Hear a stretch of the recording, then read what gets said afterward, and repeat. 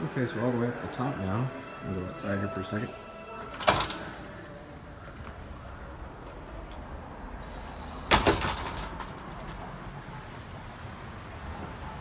Y'all have to come check this out. It's really nice. Just think if Murray had mountains like this, how awesome it'd be.